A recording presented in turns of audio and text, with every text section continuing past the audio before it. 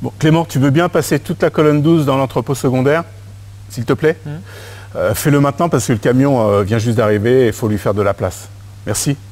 Attends Marc, euh, l'entrepôt secondaire est presque plein. La colonne 12, elle va pas rentrer en entier. Pourquoi tu veux vider celle-là Il y a la 33 que je dois vider, c'est pas mieux Elle part que demain, la 33. Qu'est-ce que tu fais du camion Il arrive cet après-midi. Bah, je le vide sur le transit et demain, je la range dans la 33 qui sera vide. Il y a encore de la place sur le transit? Bah, je vais en faire. Si c'est bien rangé, ça le fait. Hein. Bon, bah ok, on fait comme ça. Merci Clément.